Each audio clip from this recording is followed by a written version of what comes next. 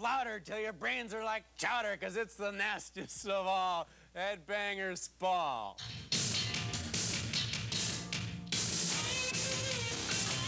Look out, Madonna. A new breed of rock and roll fans has arrived. They're called headbangers, and they're making heavy metal music more popular than ever.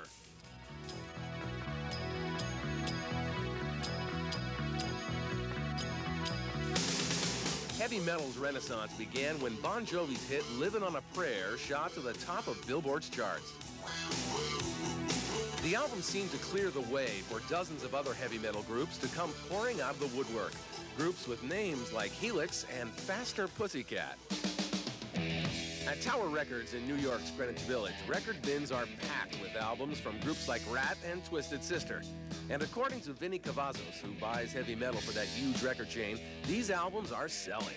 Maybe one quarter of what the store puts out, like in category of music, could be, you could say, is rock, hard rock. There's people who like loud, aggressive, uh, rude rock and roll.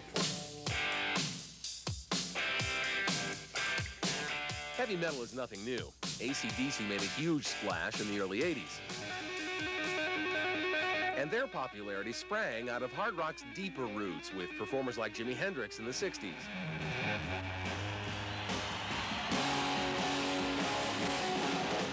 But it was Kiss and their bizarre brand of rock theater in the 70s that set the stage for today's era of heavy metal madness. Ace Frehley was part of that group. Kiss was a, a, big influence on hard rock and heavy metal fans in the 70s, and I was part of that. And uh, it just got to the point where I just became self-destructive and also, you know, decided I had to leave the group if I was going to survive. Ace's departure from Kiss came during the off years of heavy metal in the early 80s.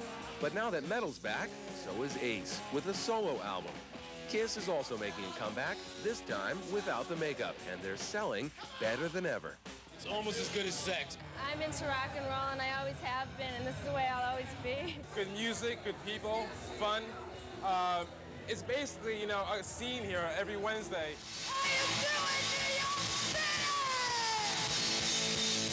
Wednesday night is Tommy Gunn's Metal Night at New York's Cat Club. Bands play, friends drink, and socialize, but mostly people come to this scene to be seen and to check out who's in the crowd. Long hair. Long hair, lots of long hair. Crowd here tonight is a very glam crowd. It's a very nice looking crowd. They dress up, they have fun. It's a good party crowd. It's like, why not be a superhero all over again? These metal fans are glam because they design their own fashions, clothes, and hairstyles.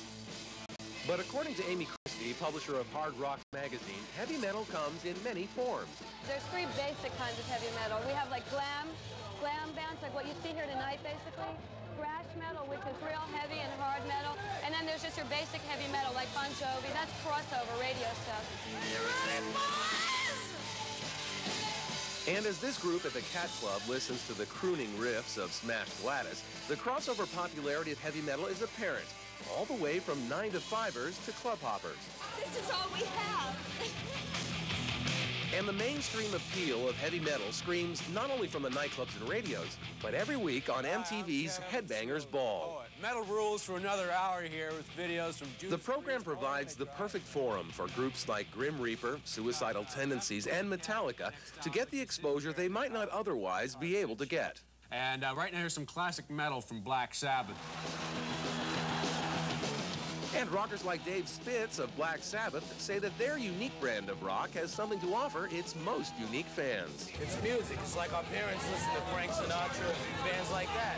Okay, they enjoy that. They can't relate to heavy metal. Heavy metal will never peter out, never die. And as for metal's longevity, even ex-Kiss star Ace Frehley doesn't know how long heavy metal will ride on this current wave of success. It's probably going to continue on the way it's going, and it might even get worse. Only the big guy knows.